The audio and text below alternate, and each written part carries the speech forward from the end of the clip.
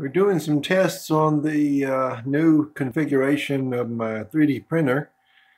Uh, it's January the 21st and um, obviously got the frame put together and I've been working on the z-axis and mounted the stepper motor down in the bottom there. There's a little hole that you see. That is the uh, a cable that is counterweighting the weight of the Z axis in bed.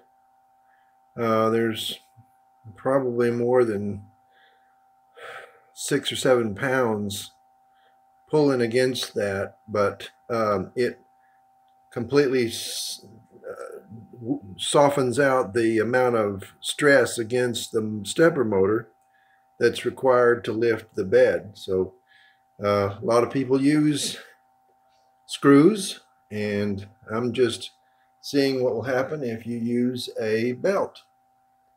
Just a different configuration test. So this is, uh, a, again, it's just a, um, a simple little setup here. I still have a lot to do in the X and Y area. And of course, no extruder yet.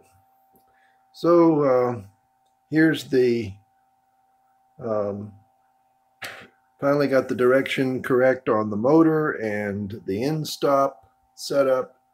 And here is my home command from um, Pronterface.